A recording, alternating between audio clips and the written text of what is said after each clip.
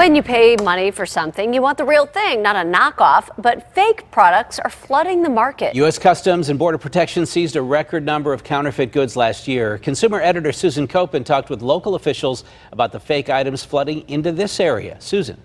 Yeah, this goes way beyond buying a fake Gucci bag. We went to Homeland Security offices in Pittsburgh to see some of the counterfeit products that they are seizing.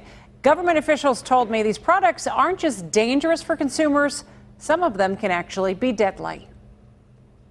You can find just about anything on the internet. It's great for consumers unless what you're buying turns out to be counterfeit. It's not just shoes or handbags anymore. It's pretty much everything we use on a day to day basis. Federal investigators say counterfeit goods are flowing into the United States through some of the biggest e commerce websites like Amazon, eBay, Walmart, Newegg, and Sears Marketplace.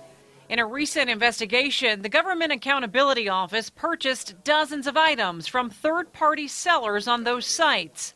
20 out of 47 items were found to be counterfeit like these expensive Yeti mugs. If you look at the bottom, you can clearly see the words Austin and made are spelled wrong.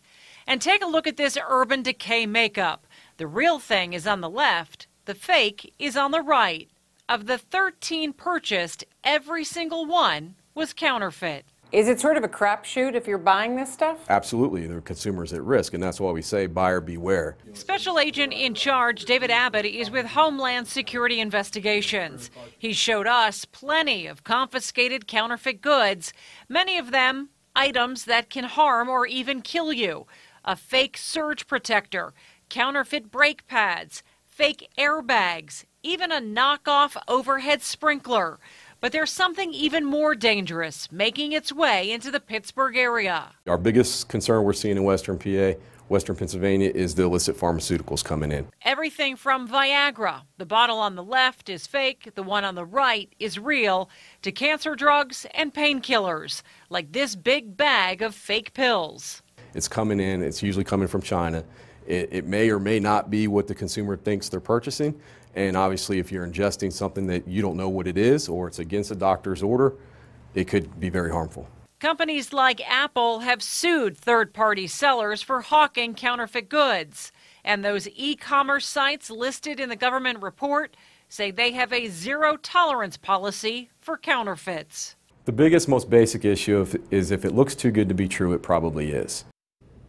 And officials say if you want to make sure you are getting the real thing, you need to buy directly from the manufacturer and avoid those third party sellers online. Wow, this is surprising to me. Okay, something like Urban Decay, a product I use, you called yeah. them. What did they have to say about this? They, they said pretty much point blank if you buy it online and it's from a third party seller, it doesn't say Urban Decay, then it's going to be fake. That's wow. what they said. I said, You want to test some of the products I buy? And they said, No, we can tell you it's going to be fake. Well, it seems yeah. clear. Thank you, Susan. Oh, Hold right. for 13 in your example there. All yeah. right. Thanks, Susan.